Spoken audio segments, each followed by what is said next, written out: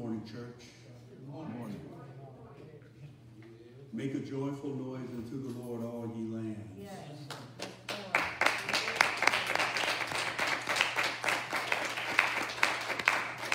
I paused right there because when I walked in at the end of Sunday school, I heard some joyful noise.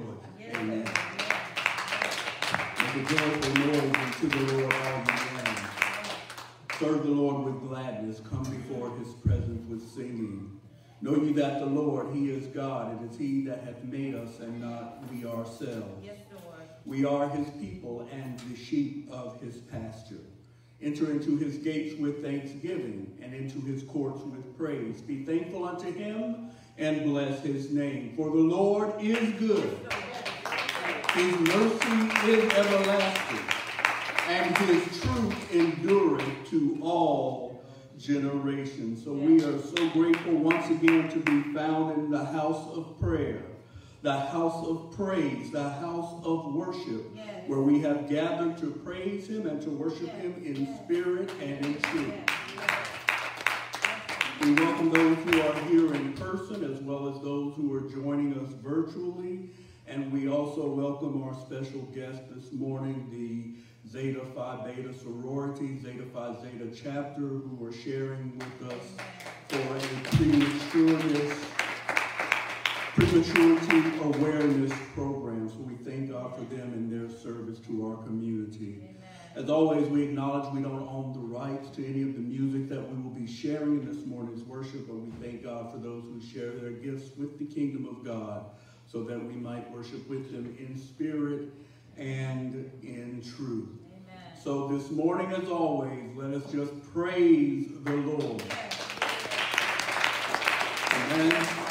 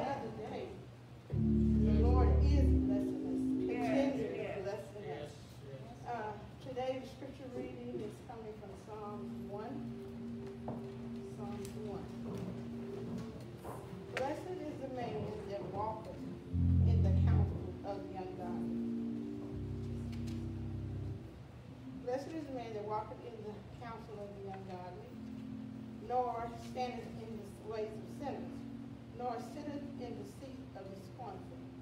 But his delight is in the law of the Lord, mm-hmm. and in his law doeth he meditate day and night. Yes. He shall be like a tree planted by the rivers of water, that bring forth his fruit in his season. His leaf also shall not wither, and whatsoever he doeth shall prosper. The ungodly are not so, but are like the chaff which the wind driveth away. Therefore the ungodly shall not stand in the judgment, nor are sinners, nor sinners in the congregation of the righteous. For the Lord knoweth the way of the, of the righteous, but the way of the ungodly shall perish. I've read Psalms 1 through 6. May God have a blessed, blessing to the readers and hearers and also the doers of his word. Amen. Amen.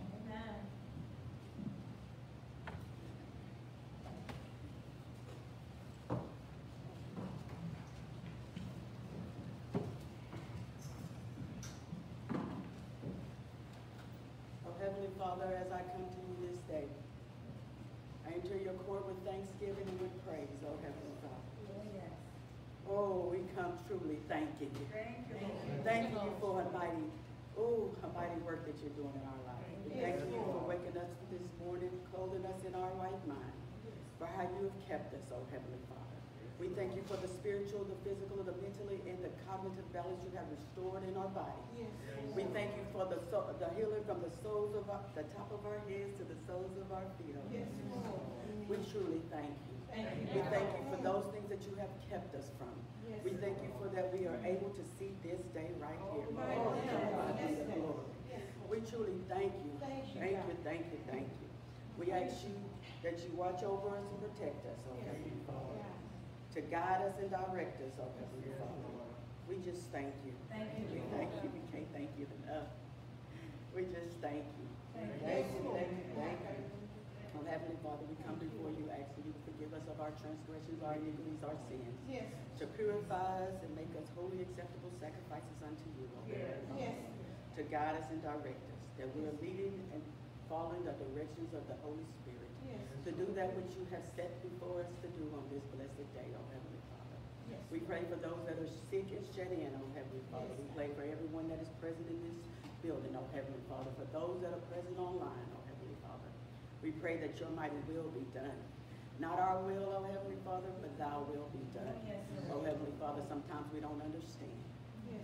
but it's not for us to understand. It's for us to trust you through the Yes. process, oh Heavenly Father. So we ask you that you give us the strength to endure all that we must endure. That you give us the mind to go through the suffering.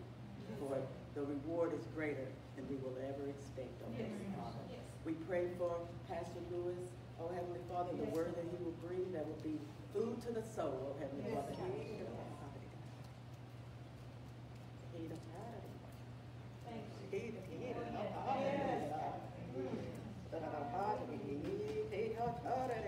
Yes. Yes. My God, my God. Yes. We just thank you this day, oh Heavenly Father. I'm thankful that I could be a humble servant to come. Yes. A prayer for your people globally, locally, internationally, oh Heavenly Yes. Father. We pray for those that are walking this journey because it's not easy. Yes. We pray for those that has not yet accepted you, oh Heavenly Father. We pray for those that are that are standing in need of prayer, oh Heavenly Father, right now. We just ask you to be that all that we need right now as we go throughout this day and throughout the week, oh Heavenly Father. We just give you all the honor, the glory, and the praise. Amen.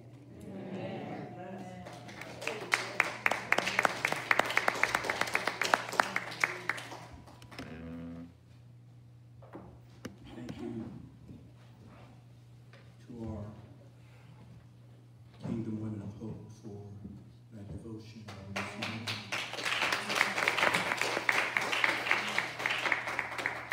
We're grateful to our deacons, our deaconesses, our ushers, greeters, our AV team, for everyone who makes up the Good Hope family. How many of you know that God is up to something? Oh, yes.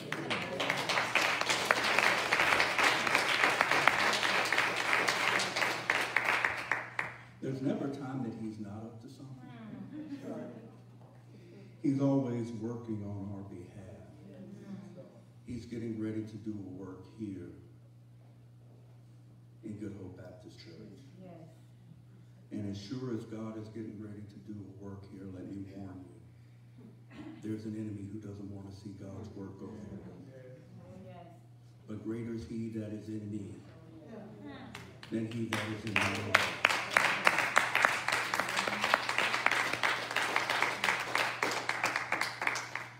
And we shall do what God has ordained us to do. Hmm.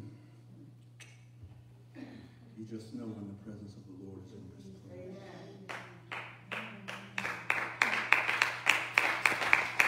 When he's present in us, when you show up, he can't help but be present in this place. Our announcements for the week, uh, we will have choir rehearsal Tuesday at six thirty. There will be no Bible study on Wednesday as we'll be, I'm sure, making preparations for Thanksgiving Day. So happy Thanksgiving to everyone on Amen. this Amen. week. Amen. And also at, uh, at ten o'clock on Saturday morning, we will be having youth choir rehearsal. So prayerfully, we will have our youth choir worshiping with us on next Sunday.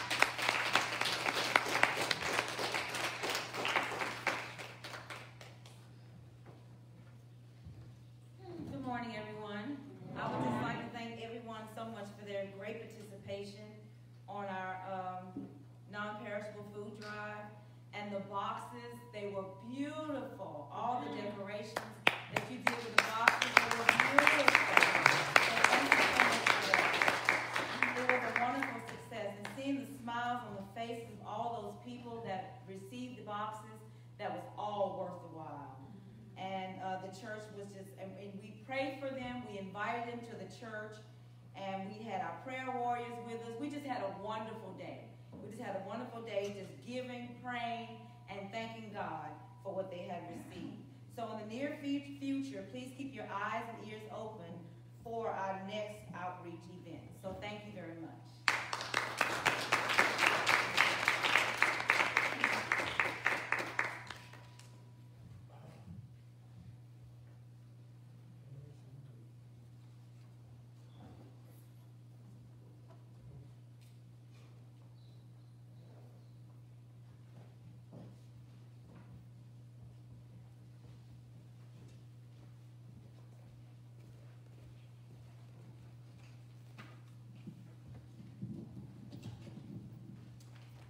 Good morning. Good morning.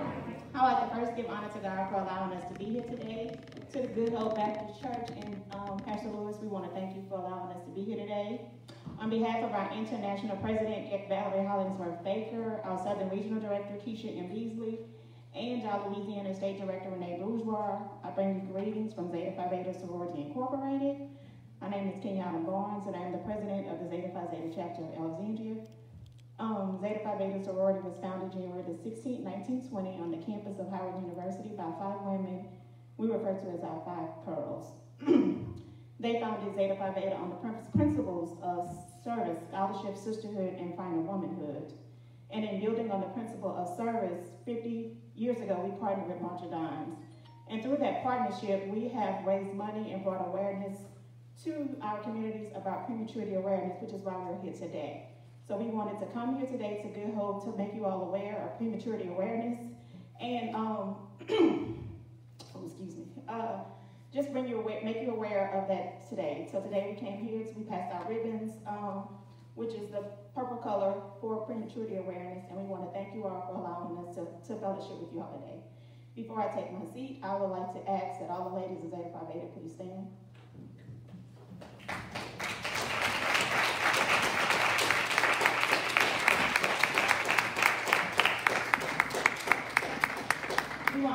hope that the Church and Reverend Lewis for allowing us to fellowship with you all today. And we want to thank our sister, um, Margaret Matthew, for allowing us to come and um, be with you all today. On behalf of the we would like to present Good Hope with a token of appreciation.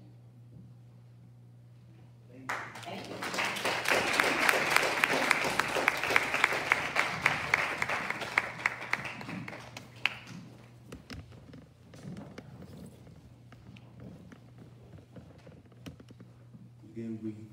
You for choosing to worship with us on this morning, Amen. along with Soror Matthew. Was just working so diligently.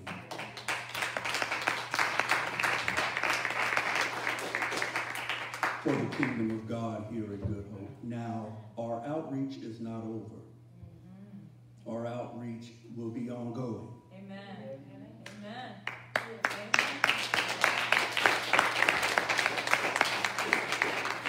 Yesterday, we had a, uh, a- a goal of addressing the needs of people in the community who are not a part of the Good Hope family or potentially not a part of any church family. But as I said, our outreach will be ongoing. We are preparing to do an additional outreach during the Christmas holidays. This outreach will be open to both members and non-members. So if you have a family that you would like to recommend for a food box, or if you yourself are in need of one or know a family in need of one, please get in contact with either myself, Sister Angela Talley, or Sister Margaret Mathey. We went above and beyond on the, the goal for this past outreach. So thank you again.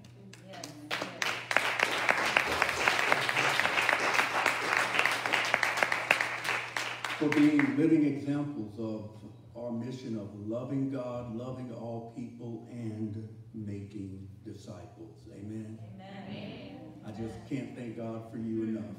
Amen. Let us keep working together as we, as my late grandmother would say, as we're walking up the King's Highway. Amen.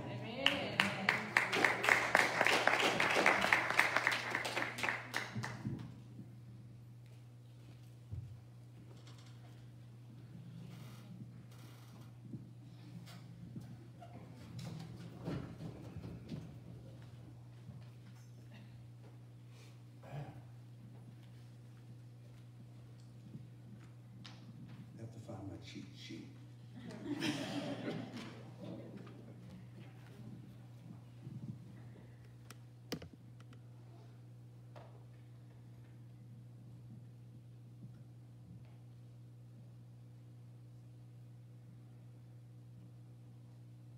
To be praying for the Lord to increase our music staff. Amen. Amen. Amen.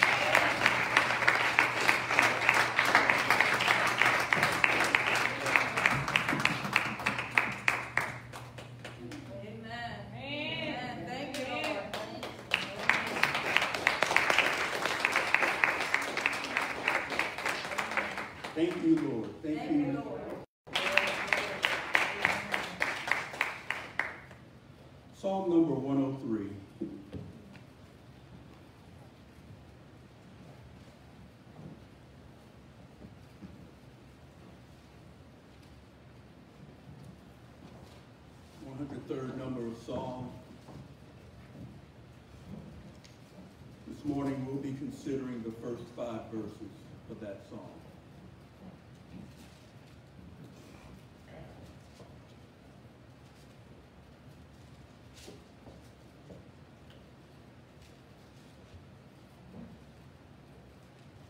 Psalm number 103, verses 1 through 5.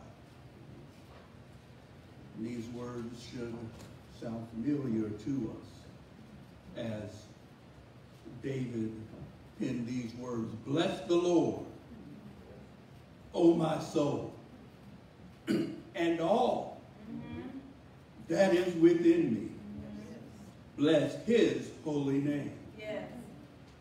Bless the Lord, O my soul, and forget not all his benefits, who forgiveth all thine iniquities, who healeth all thy diseases, who redeemeth thy life from destruction, who crowneth thee with loving kindness and tender mercies. Yes. Verse 5 and concluding, who satisfieth thy mouth with good things, so that thy youth is renewed like the eagles. You may be seated in the presence of the Lord as we conclude our series on this morning, Why Should I Be Thankful? Why should I be thankful? There's nothing wrong with being thankful for having a turkey on the table.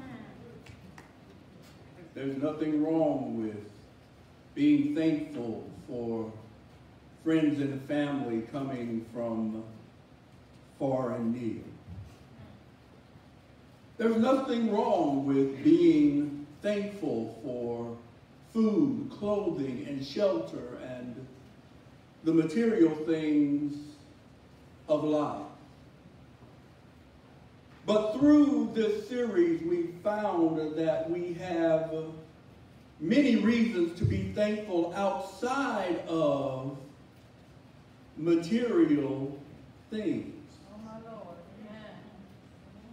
We can be thankful for the fact that my cousin friend has come in from Houston this morning. Sister Latanya Clark, welcome. So in the first part of this series, we looked at the 100th number of Psalm that says, Enter into his gates with thanksgiving and into his courts with praise. Be thankful unto him and bless his name. Why should I be thankful? For the Lord is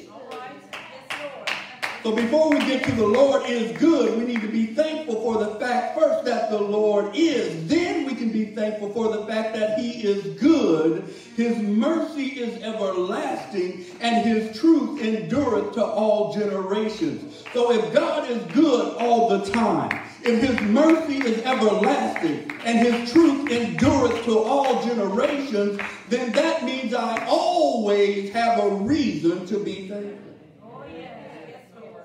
On last week in Paul's letter to the Thessalonians in chapter 5, verses 16 through 18, Paul said, Rejoice evermore, pray without ceasing, in everything give thanks. Why should I be thankful? For this is the will of God in Christ Jesus concerning you. In other words, God wants us to be thankful. God wants us to rejoice. God wants us to pray. Why? Because when we give thanks in everything, when we know that all things work together for good to them that love the Lord and are the called according to his purpose, then even when it's cloudy outside, we can be thankful. When the sun is shining, we can be thankful. When we have money in our pocket, we can be thankful. When we're flat broke, we can be thankful.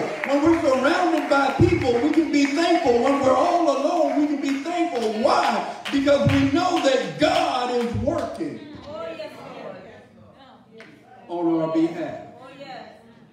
So today, Yes, why should I be thankful? When we started this series, we looked at Psalm 100, which was a corporate call to praise. Make a joyful noise unto the Lord, all ye lands.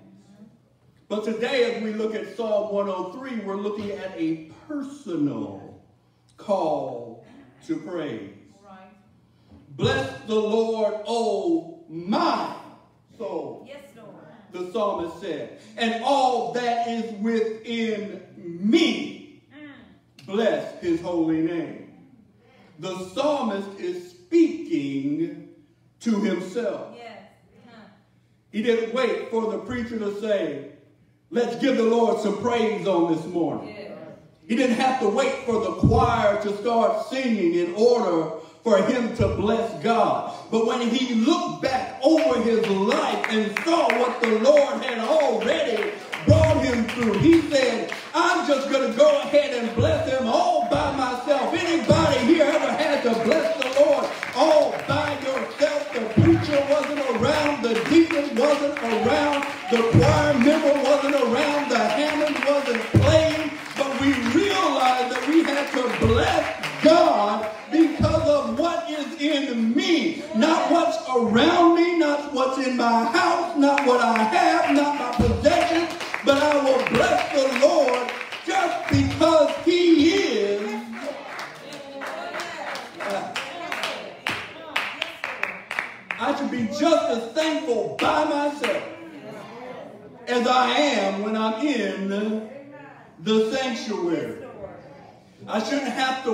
somebody to pump me up and prime me on Sunday morning before I make a decision to bless the Lord. I ought to bless the Lord in my house. And can I share something with you? If you ain't blessing God in your house, then you might not truly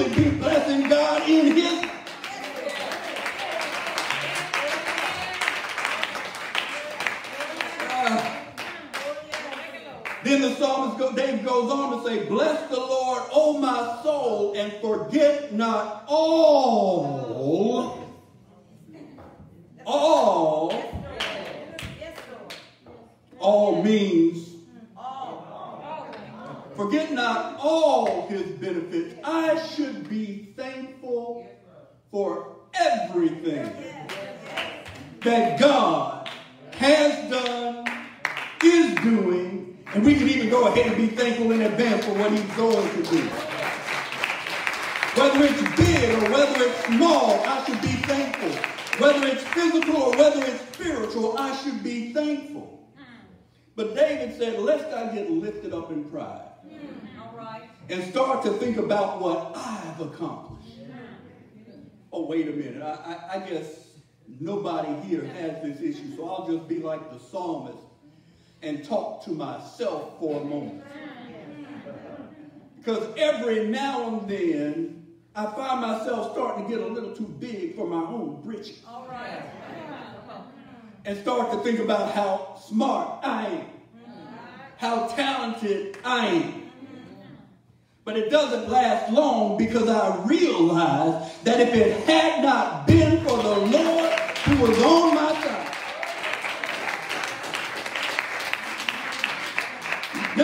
forgetting what he has done, there is nothing that I have done that is good that God didn't do through me.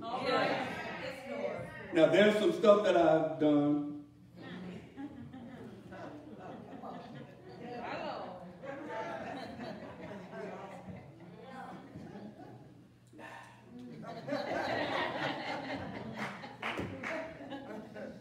hmm. that I can't give the Lord credit for.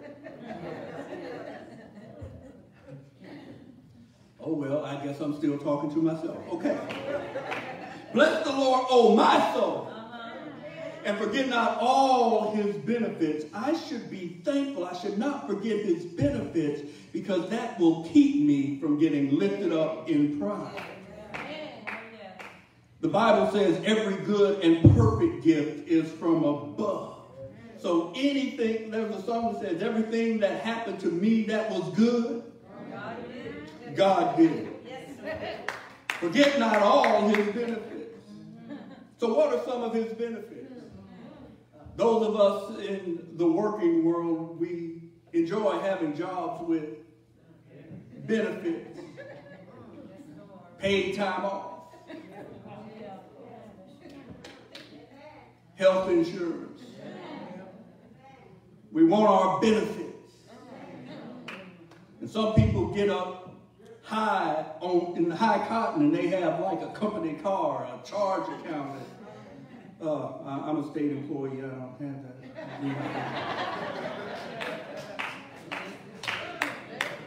but those benefits are temporal. Because as soon as I lose my job, guess what? Those benefits are gone. But how many want to hear about the benefits that you'll never lose?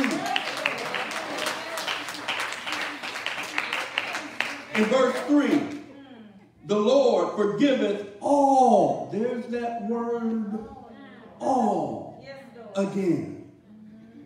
He forgiveth all thine iniquities. He healeth all thy diseases. In other words, the Lord's healing is complete. He heals us spiritually. Forgiveth all thine iniquity. Yes, Lord. So let me pause here to talk about three words. There's one word, sin, which means to miss the mark as is an archer who has his arrow and he's aiming for a target.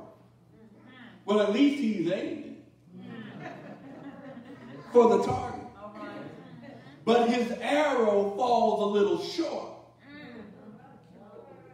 of the target.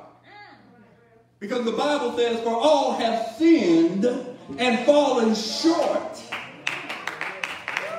So when we sin, it's not just that we miss the bullseye. But we don't even hit the target. But at least we're trying. Doesn't make it right. Doesn't give you any points. But at least you're trying. So just keep trying to hit the mark. There's another word. The word that we see here in the text, iniquity. Iniquity is when you ain't even concerned about hitting the target. One person says iniquity refers to the inner character and points to an intentional twisting of a given standard. In other words, you know where the target is, but you intentionally disregard the target. That's when we, Lord said, get off that you stuff as if.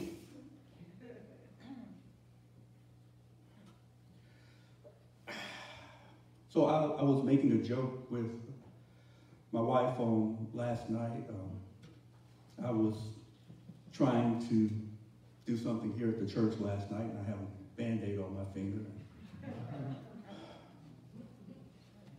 Started bleeding a little bit. I told my wife, I said, well, let me not get a Jesus complex because I'm shedding blood.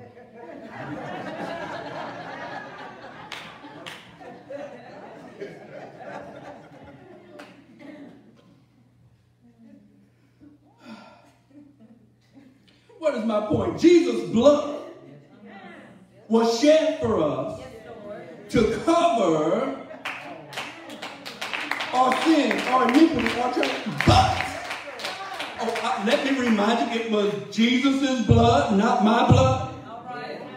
I didn't come, I just shed a little bit of blood, but Jesus shed all of his blood. My blood has no redemptive power because, like David, I was shapen in iniquity and in sin did my mother conceive me. So my blood can't do anything for you. But I'm talking about the blood of Jesus.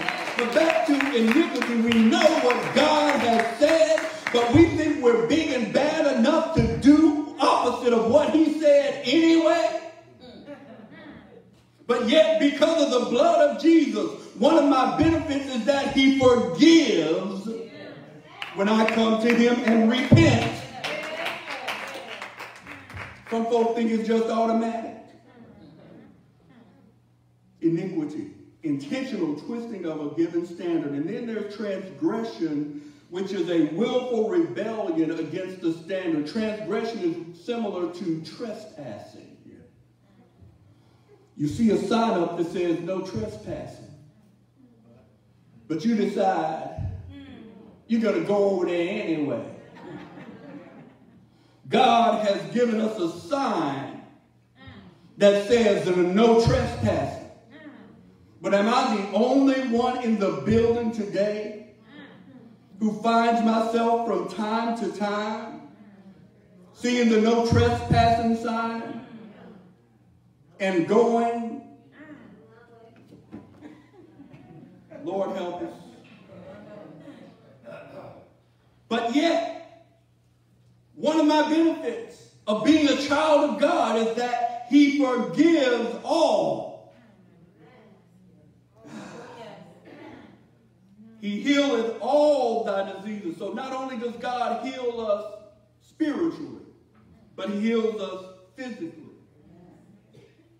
But remember, sometimes healing means that God keeps people here on earth. Other times, healing means that it takes people to heaven. So either way, what did Paul say? Absent from the body means to be present with the Lord. So even if my disease takes me out of this earth, it doesn't mean that God did not heal me. As a matter of fact, that means I'm better off now.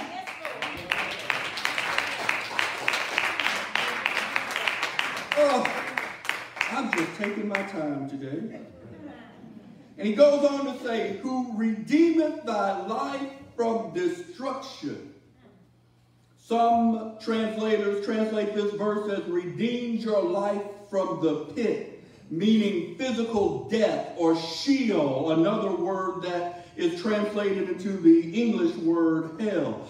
God has redeemed us again by the blood of Jesus. He has redeemed us from the pit. He has saved our lives from destruction. The wages of sin is death. But thank God, the gift of God is eternal life through Jesus Christ our Lord.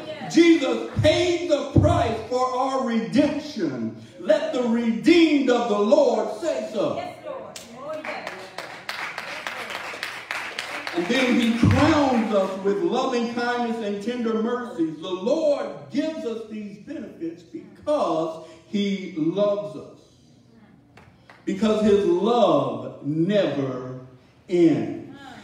And when we are covered by his love, then he will shower us not only with his love, but also with his mercy. Anybody here need some mercy today?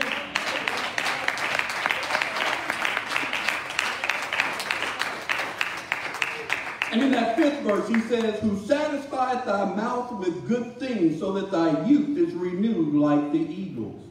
Some translators, again, translate this verse as, Who satisfies you. Not just satisfying your mouth, but who satisfies you. Another translation says, Who satisfies your desires. Psalm 37 and 4 says, Delight thyself also in the Lord, and he will give you the desires of your heart. So the psalmist is not only praising God for spiritual benefits, now he's praising God for physical benefits. And when our desires line up with God's desires for our lives, then he will give us because remember, look at Psalm 37 and 4 again. Delight yourself in the Lord, then he will give you the desires of your heart. So when you delight in him, He will put the desires in your heart.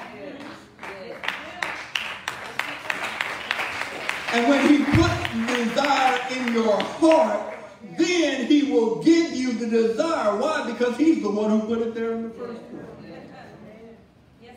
And he can even give us health in our later years. Your youth is renewed like the eagle. Just this week, I heard about two ladies over the age of 100 who made their transition to glory.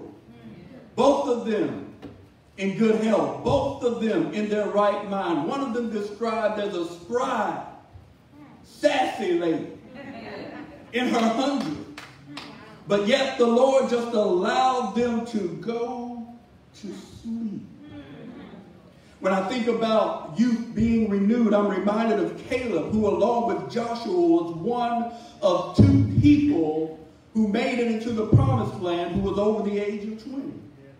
And Caleb said, And now, behold, the Lord hath kept me alive, as he said, these forty and five years, even since the Lord spake this word unto Moses while the children of Israel wandered in the wilderness. And now, lo, I am this day fourscore and five or eighty-five years old. And look at this next verse.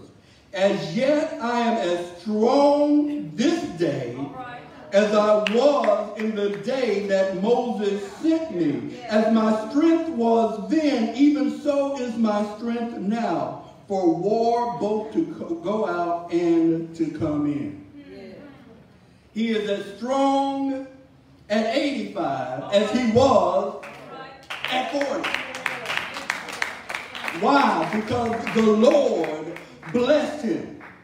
And we know what Isaiah said, they that wait upon the Lord shall renew their strength. They shall mount up with wings as eagles. They shall run and not be weary. They shall walk and not faint. So that or that just gives us some of the benefits. If you read the rest of Psalm 103, you will see even more benefits that we have. But for that reason, is there anybody here who wants to bless the Lord for his benefits? Is there anybody here who can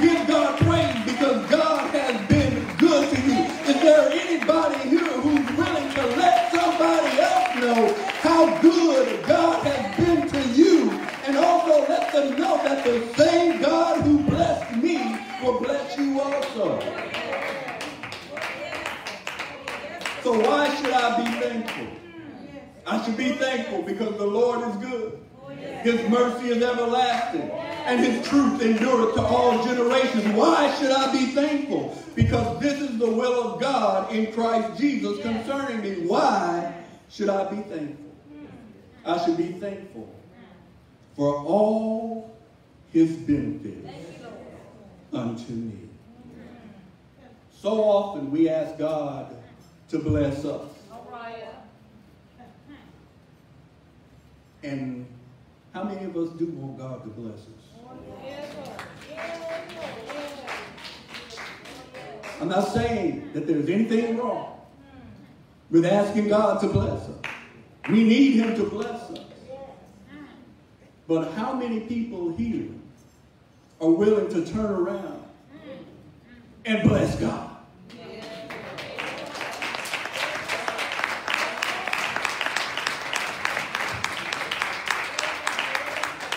Why should I be thankful? We have so many things to be thankful for. But above all, let us be thankful for God. Not simply for what he's done, but being thankful for who he is. As we now extend the invitation to discipleship, as we stand all over the building.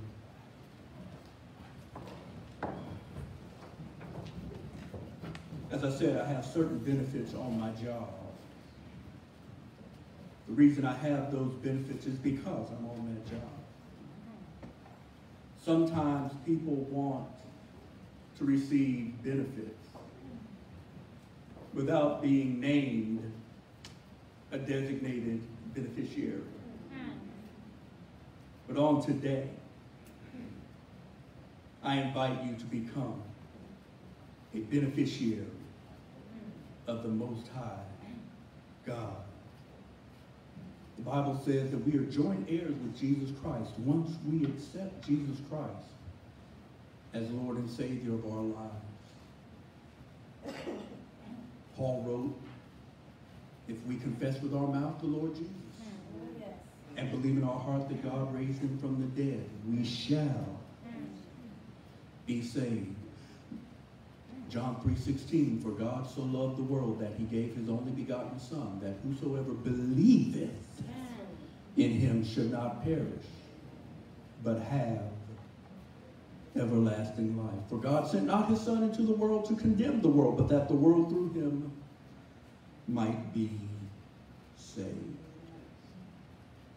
So the first step in receiving the benefits is to become a son, to become a daughter of God through, first of all, acknowledging that you have sinned and come short of God's glory, admit that you are a sinner, believe that the good news of the gospel of Jesus Christ, that he was born of a virgin, that he died on a cross, that he rose on the third day, and confess with your mouth and believe in your heart the Lord Jesus and that God raised him from the dead. It's not a magic formula. The price has already been paid by Jesus Christ himself. All you have to do is accept him. Church membership won't cut it. There'll be some church members in hell too. Have a few preachers down there. A few choir members, a few deacons, ushers. In hell. Because they joined a church. But they didn't join the church.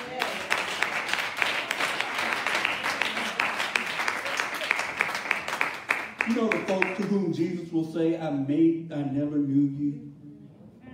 Depart from me. But all the good things I did, all the food boxes we gave out, all the sermons that we preached, to have Jesus say, You worker of iniquity. This thing has to be real, my brothers and sisters. Become a part of the church. And then become the part of a local assembly where you can grow in grace and in the knowledge of your Lord and Savior Jesus Christ.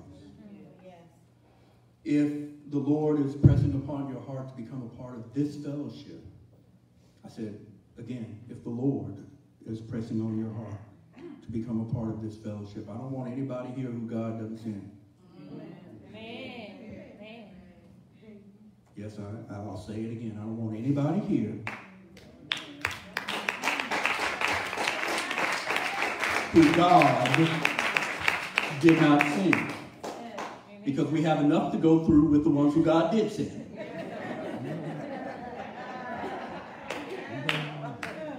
From the pulpit to the door.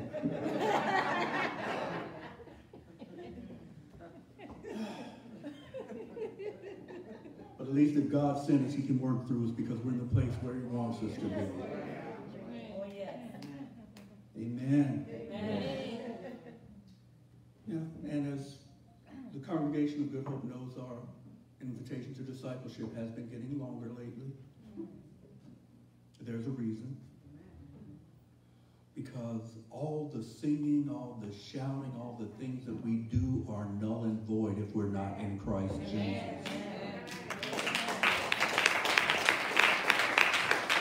And it's not simply an invitation to membership, it's an invitation to discipleship.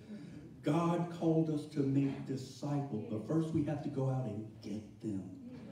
He didn't tell us to sit here and wait for them to come, He told us to go. But we can't go if He hasn't sent us. We can't tell somebody about a Jesus we don't know for ourselves. So I want to make sure not only that we give this invitation to discipleship, but each and every one of you walks out of here equipped to bring somebody to Christ yourself. Amen. It's not just the preacher's job on Sunday morning to quote unquote open the doors of the church. The doors of the church are always open 24 hours a day, seven days a week. And if somebody comes to you and says, What must I do to be saved? If you saved yourself, then just tell them what you did.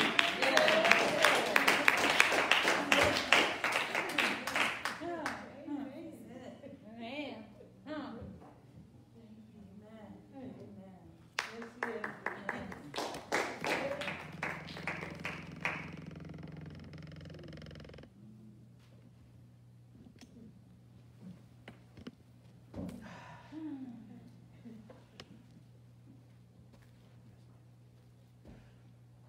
Brothers and sisters, Sister Nancy Young has come to rededicate her life to Jesus Christ with the symbol of being rebaptized.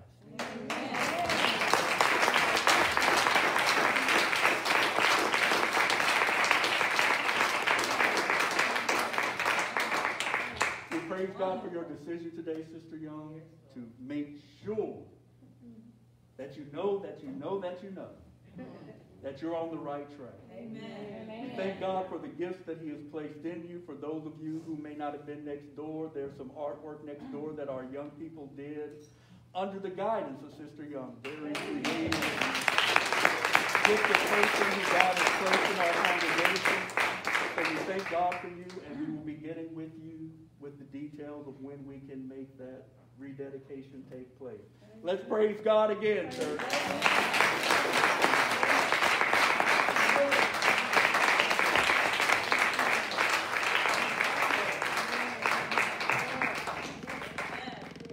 Hallelujah. Do you know how much courage it takes to do that? Amen. Lord.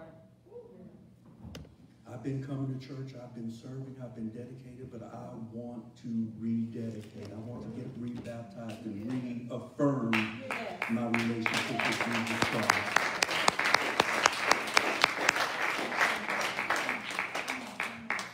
To God be the glory. Yes, Yes, indeed. Yes, indeed. And now for our benediction. The Lord bless thee and keep thee. The Lord make his face shine upon thee and be gracious unto thee. The Lord lift up his countenance upon thee and give thee peace. And as we leave this place, may we never leave his presence. We ask it all in Jesus' name. And the people of God responded by saying, Amen. God bless you. Happy Thanksgiving. And may God continue to bless you as you enjoy his benefits.